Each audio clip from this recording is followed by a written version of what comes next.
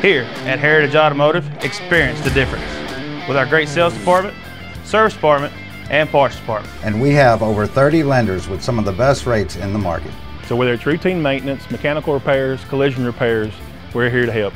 Heritage Automotive. Expect more, experience the difference. From the Tennessee Valley Weather Channel, this is your weather today. Happy Friday, folks. Ben Luna here with you in the Tennessee Valley Weather Center, wishing you a fantastic day as you check out your weather today, made possible by Heritage Automotive in Lawrenceburg.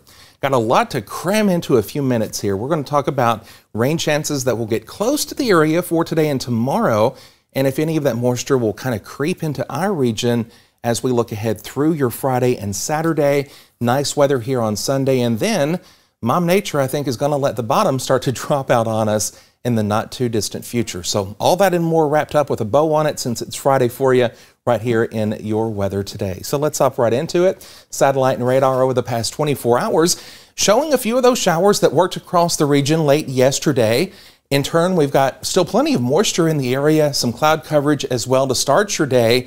But as far as any widespread rain possibilities for this afternoon and really for the remainder of this morning, I don't think we're going to have that across the area. Now, Futurecast is trying to pick up on maybe one or two extremely isolated pockets of some rainfall. This is really not even worthy to put on the seven day forecast for today.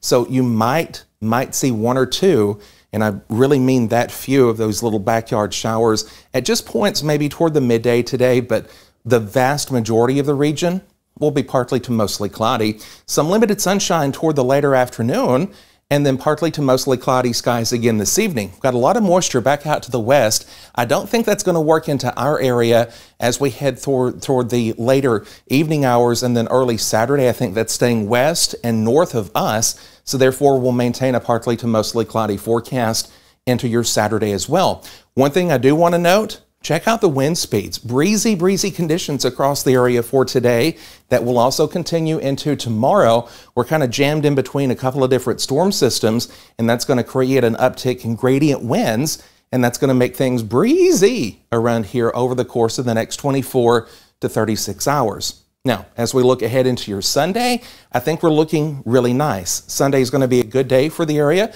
Overall, partly cloudy skies will dominate the forecast for your Sunday. Temperatures also on the warm side this whole time. We're sitting firm in the upper 70s to even 80s across the area. And then Sunday night, we'll start to see some modes of transition return to the area. And yep, you guessed it. That's a nice way of saying it's going to rain next week. Here's a look at the Parks Lumber Day Builder forecast. Again, temperatures nice and warm for you, well into the mid 70s this morning, and then on into the low range of the 80s by the midday and afternoon. It's going to be a good sweating forecast for you. 83 will be the regional average high. Your weekend looking pretty good, especially Sunday. I think that's the best day of the weekend. 82 degrees there. We're going to stay in the 80s next week for the most part. However, rain chances really return beginning Monday night. Monday morning should be good, but Monday evening and then Tuesday, Wednesday, and Thursday will usher in pretty much daily rain and thunderstorm chances for the Tennessee Valley.